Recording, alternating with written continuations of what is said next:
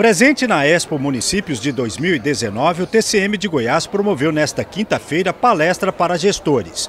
O chefe de gabinete da presidência, Rodrigo Zanzoni, falou sobre o Portal do Cidadão, ferramenta criada pelo tribunal com informações dos indicadores dos municípios, com receitas e despesas em cada área da administração pública.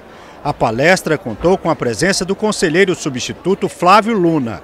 Pelo portal, a população pode acompanhar a situação financeira de cada cidade, quanto está sendo investido em educação, saúde, em pessoal, por exemplo. Como recebemos as prestações de contas de todos os municípios, nós temos esse conjunto de dados e ele fica organizado à disposição da população, da sociedade, dos vereadores que fiscalizam o Poder Executivo e também dos próprios gestores do Executivo para acompanharem o uso desse recurso público. Como isso está de forma muito bem organizada, didaticamente orientado, organizado, disposto é, em, em gráficos, de forma estruturada, fica muito fácil para qualquer pessoa, mesmo que não tenha tanto entendimento, inclusive inclusive contábil, possa entender e ver e enxergar a aplicação do recurso público. Quando você chega aqui, que você começa a ser orientado, você tenha mais eh, chance de estar acertando.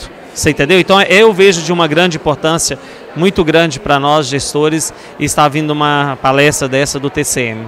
A Expo Municípios 2019 foi organizada pela Federação Goiana dos Municípios.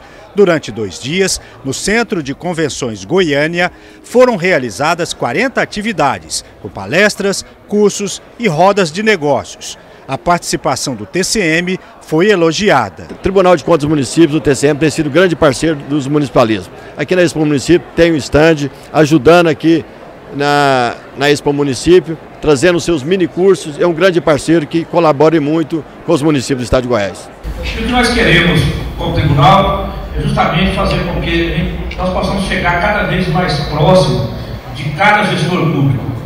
Nós precisamos, sem sombra de dúvida, de um pouco que nós temos hoje, fazer com que ele atinja o maior número de pessoas possível, que é justamente a questão da eficiência no gasto público. TCM, o Tribunal a Serviço da Sociedade.